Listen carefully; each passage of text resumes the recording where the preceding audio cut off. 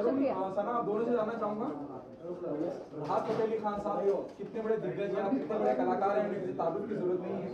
कितना अपने आप को लकी मानते हैं, जिस मुल्क में हम रह रहे हैं और जिस तरह का दौर चल रहा है, दोनों तरफ़ के आर्टिस्ट दोनों तरफ़ के मुल्कों के आर्टिस्ट को बैन कर रखा है, यहाँ वहाँ नहीं जा सकते, वो यहाँ नहीं आ सकते। अब राहत फतेह अली खान का जहाँ तक मुझे समझ में आ रहा है पहला गाना है, कितना लकी मानते हैं, उस बैन के बाद उनका ये गाना आना that to picturise on both of you आप बोलेंगे? आप आप बोलो। तो ज़ाहिर सी बात है, मैं अपने आप को बहुत ज़्यादा जै नसीब लकी मानती हूँ कि मुझे इतनी आला दर्जे की अपॉर्चुनिटी मिली कि मैं राहत साहब का गाना करी। सही आपने कहा कि वो एक लेजेंडरी सिंगर है। देखिए, मेरा मानना ये है कि टैलेंट के लिए सरहद I don't I don't really talk about that but मेरा मानना ये है कि इतनी आला दर्जे की अपॉर्चुनिटी मिली है और जब मैंने ये सॉन्ग सुना आई वाज लाइक कि मुझे करना है। और इस पे चार चाँद इसीलिए लग गए क्योंकि हमारे जो एक्टर है तरुण, इन्होंने बहुत ज़्यादा हमारा साथ दिया। और या I think I am very very lucky blessed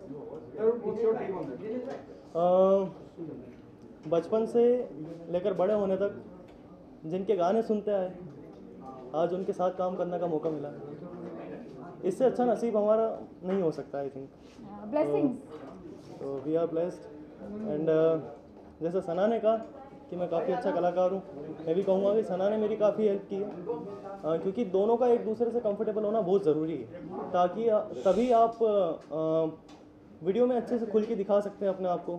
आपके एक्सप्रेशन आप दिखा सकते हैं। तो thank you so much Sana for your support and thank you so much Rahat Fateh Ali साहब हमें मौका मिला आपके साथ काम करने का। Thank you to Rashid sir also जिन्होंने कास्ट किया।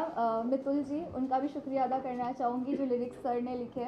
Choreography Imran sir I entire team एक कोई भी प्रोजेक्ट मेरे हिसाब से सक्सेसफुल अच्छा तब बनता है जब एक टीम इकट्ठे होके काम करे। और यहाँ पर हमने एग्जैक्टली exactly वही किया। So it's team work at the end of the day front पे हम दिख रहे हैं बट बिहाइंड द सीन्स बहुत सारे लोगों की मेहनत है इस पर। Thank you so much everyone when we have somebody like Rahat, Rahat Saab and is singing for your, you know, the, or your, your video song, फिर वीडियो का जब हम बात करते हैं विजुलाइज करने की हम बात करते हैं बहुत इंपॉर्टेंट हो जाता है कि जब हम कोई गाना देख कर उसमें कहानी चल रही होती है ना?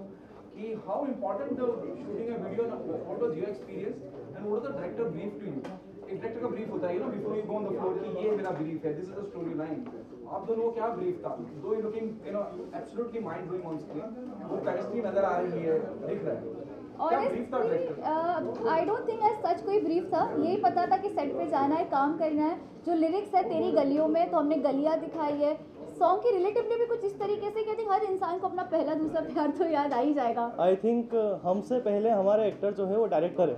यस क्योंकि उनकी जो क्रिएटिविटी होती है उनके जो दिखाने का तरीका है वो दिखाएँगे तभी हम दिखेंगे। सो हमारे डायरेक्टर साहब का है। अ, Parvez ji. And Rashid Rashid sir ji. तो सारी क्रिएटिविटी इनकी है सारे आइडियाज़ इनके हैं। So thank you so much Rashid ji Khan साहब आ गए। देखो हम लक अस्सलाम वालेकुम खान साहब। खान साहब मैं अच्छा हूँ आप कैसे हैं तरुण। अस्सलाम वालेकुम सर क्या हाल है आपके?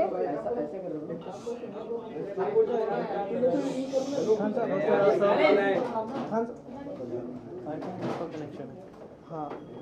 मीडिया आपके लिए बेताब है खान साहब मीडिया से रूबरू होइएगा। जी।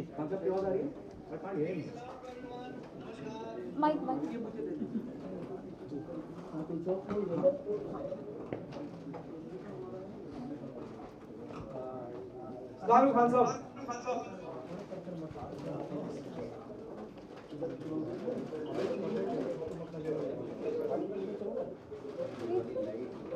आवाज़ आ रही है खान साहब?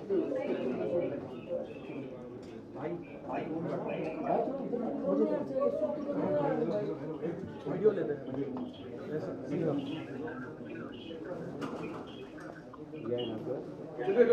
जी आप कुछ